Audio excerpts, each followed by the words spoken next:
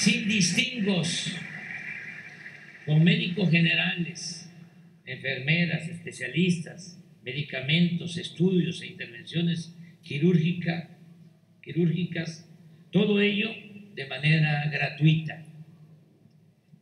Vamos a garantizar el derecho a la salud a todos eh, los mexicanos, porque no puede ser la salud un privilegio, es un derecho de todos los mexicanos, es un derecho humano que vamos a cumplir.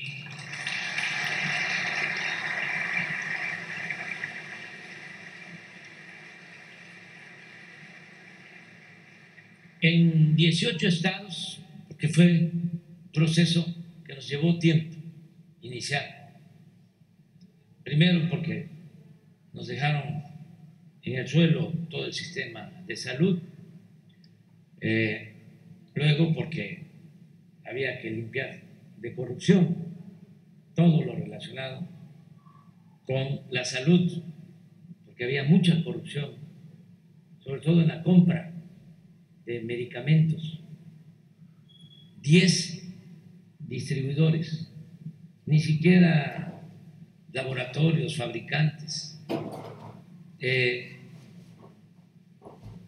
se quedaban con contratos para venderle a las instituciones de salud del gobierno 100 eh, mil millones de pesos al año.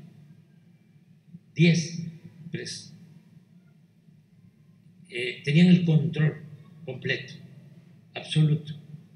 No se podía comprar un medicamento en el extranjero no lo permitía la ley.